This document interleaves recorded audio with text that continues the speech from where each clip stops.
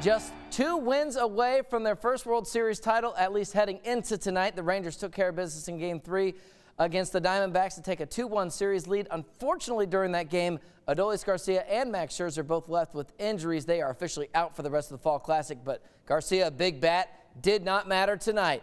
This one just went final. The Rangers defeat the Diamondbacks 11-7, so now they are one win away from their first World Series title in franchise history. They have three chances to clinch that championship. That's going to do for sports. We'll be right back.